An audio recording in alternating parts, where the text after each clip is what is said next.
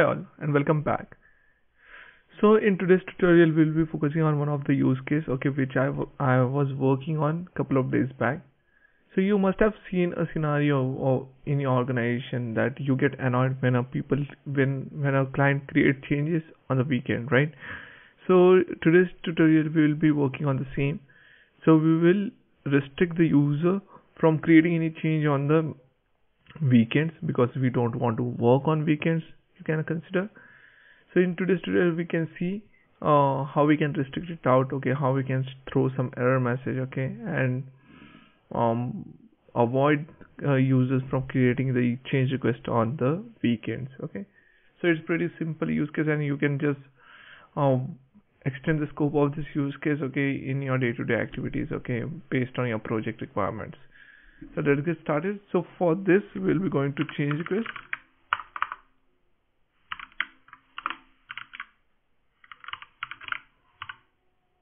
list and what we we are planning to do is like we don't want user to select plan start day out on weekend. We don't want them to plan anything on weekends okay? So what I will be doing over here let's open a normal change okay? This one for instance which is a new state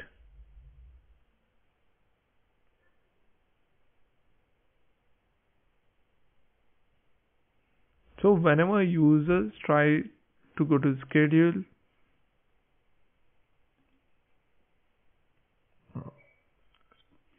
so try to go to schedule and try to select the plan start date okay? If it selects weekends then we want to give them some error okay? So for this let's get started. So what we'll be doing first of all we'll create a script include where we will validate these things out okay? So I will go to script include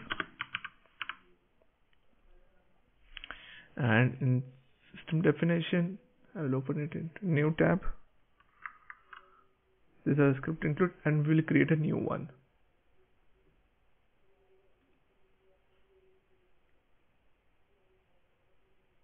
Okay as we will be doing this validation on the on the server side uh, on uh, sorry on the client side so let's let's add something out okay? Well, let's make it client callable. So let's give it a name first. So let's give it a name. We will give week day validation. Okay? Weekday validation we'll make it a client callable. And uh, here we'll define the function. So let's take a function. Um, let's consider function. Um, is so uh, let's give the function name as is it a weekday? Is it a weekday okay? So that we'll get clarity what exactly is doing. Day my keyboard got screwed. And we'll give a function.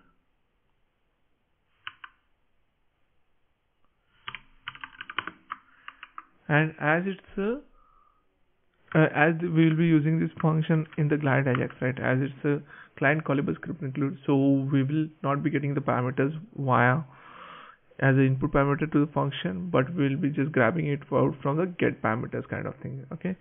So what, what will be variable? Plan started.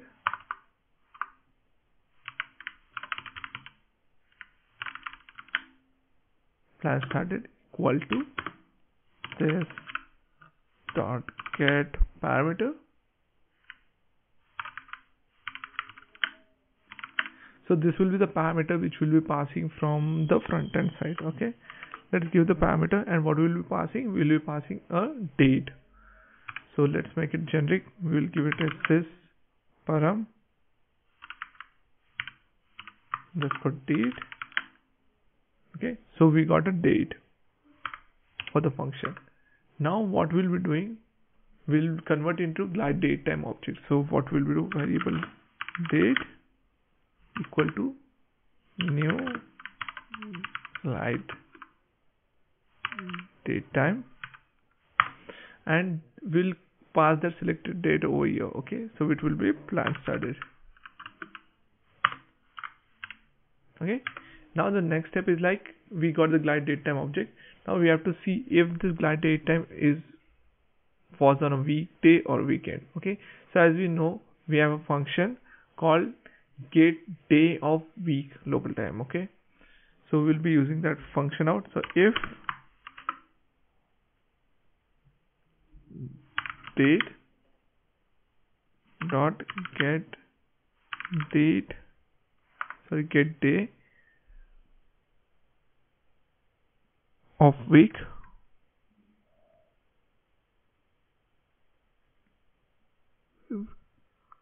of week local time because I want to consider all the scenarios with respect to my local time okay? And we'll give so how exactly it goes? In ServiceNow instance when you use this function if it's a Monday it will be considered as 1 if it's a Sunday it's considered as 7 so Tuesday will be 2 Wednesday will be 3 and so on. So what we can do we want to exclude Saturday and Sunday. That means we want to exclude 6 and 7 so we can give condition if the weekday is greater than 5 okay? That means if it's weekend then what we have to do? We will return. True? Okay. Else always give else okay? So else will give we will return. False. Not false false okay? Done so this is all we have to do on the script include side. Okay? So I will just save it out. And then let's go back to a change form. And now we will be creating a on change client script okay? Because whenever the change uh, the date get changed we want to uh, we want to perform this validations right? So I'll just go to configure and configure we will go to the client script. Yeah leave. And in client script we'll create a new client script.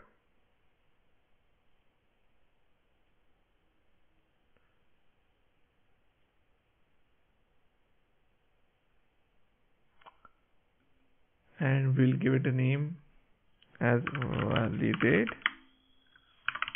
start date it makes sense. We'll give it type as on change which particular field. So we want to perform it with respect to plan start date right? Because we don't want them to schedule change request on the plan on the weekends right plan. And now we'll start writing our code. So first and the foremost thing we'll be writing glide over here. So what we'll be doing? Variable glide ajax. Change. Equal to new. Glide. Ajax. And here we have to pass the script include name which we'll be calling. So the script include name is week day validation so we'll copy it out and we'll paste it over here. Done now the next step is to pass which function we'll be calling because a script can have multiple functions out right? So the next step is like ga glide aggregate uh, glide ajax change dot add param. And what the second attribute will be the function which function we want to call. And it gets signified with the name called sys param? Underscore? Name? And which function we are calling over here? I don't remember. So we are calling this particular function which is is it a weekday so we will give it this function over here. Is it a weekday? Now the third thing what we have to do is to pass the value of the start date right? Then only the validation will happen right? So for that we can again go with ga change dot add param and that param will be uh, what this time? What attribute we have passed over there so we'll get this one. This is param date go here. Paste it out. And now this particular value is in the new value right? Because we have written on change kind of thing. So we can simply use new value. No use no need to use g form and all those things out. Done? Now we can get the response. Now it will go to the server side with this attributes okay and it will get the response. So we let's get the response and how we can get the response? The variable response equal to change dot get xml answer.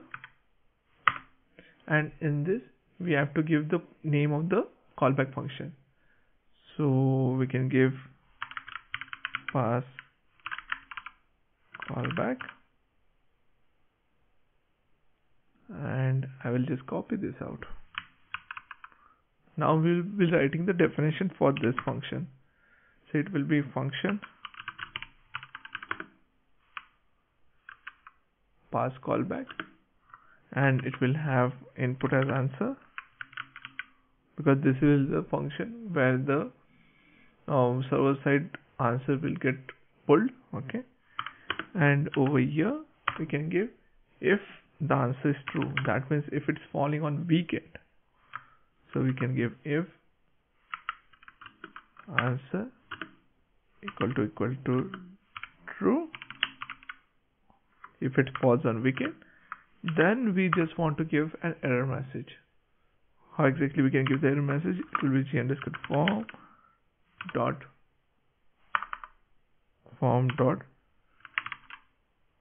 show field message because I want to show it on the field okay? Then now it asks for which particular field right?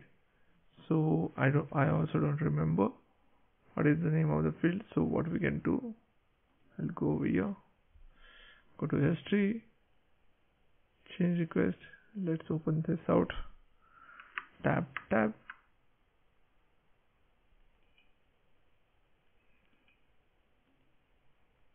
mm-hmm. start underscore date. Can go tab. And we can give start underscore date. This is the field where we want to display the message. What should be the message? Okay. So we'll say he we are on leave. Please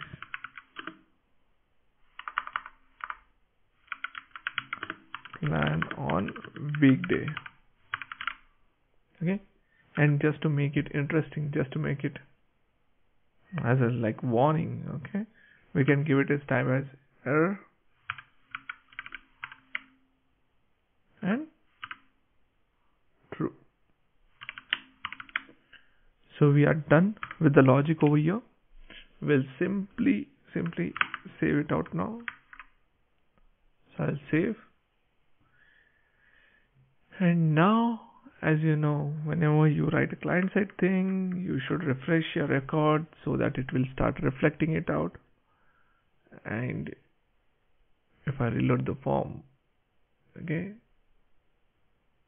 So if I select some validate okay some weekdays date let's see what happened.